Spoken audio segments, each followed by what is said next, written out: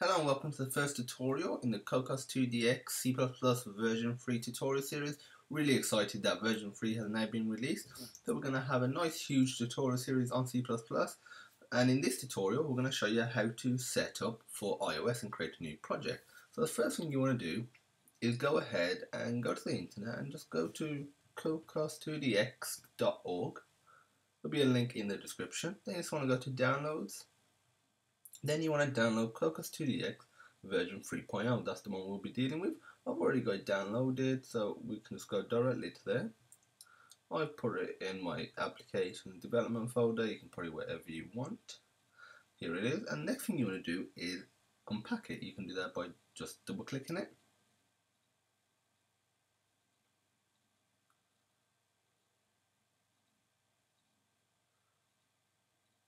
Now that's done, what we want to do is open up a terminal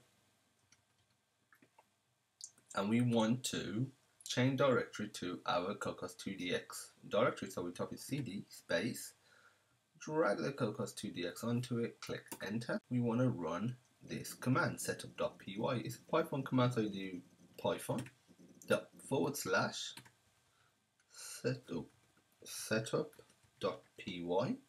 Click enter and there's a few things that it's added a Cocos console root and it's asking for an NDK root that won't be covered in this tutorial because that's to do with Android. But the next tutorial is how to set up a new project for Android. So don't worry if you want to set up Android you can look at that in the next tutorial.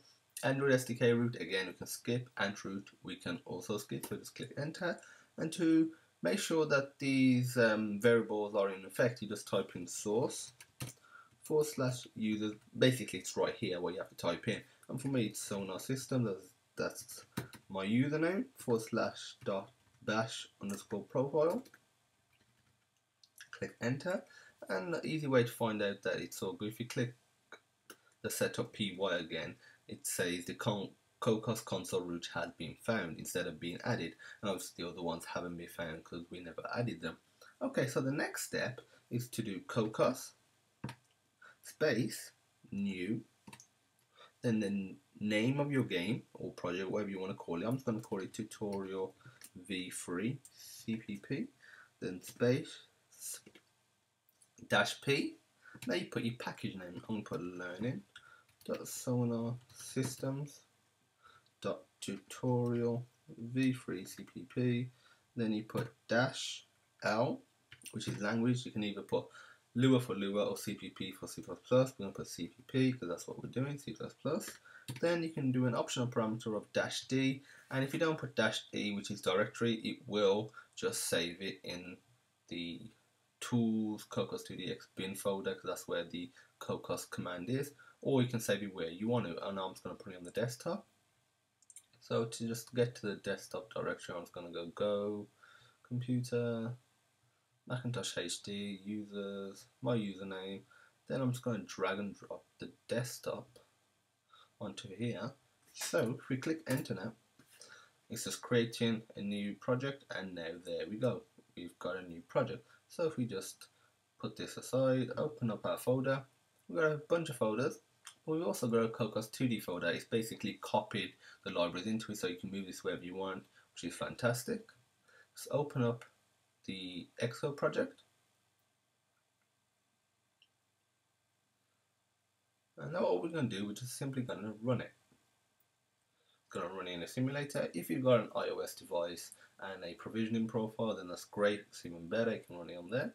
If not, don't worry, the simulator is pretty good.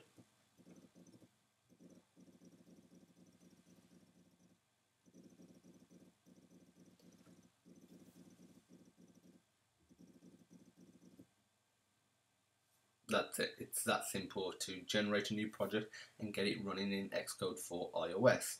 In the next tutorial, as we mentioned before, we're going to look at setting up literally the same process as this, but just it done for Android on a Mac. And if you're on Windows, the first tutorial will cover setting up for Android and on a Windows machine.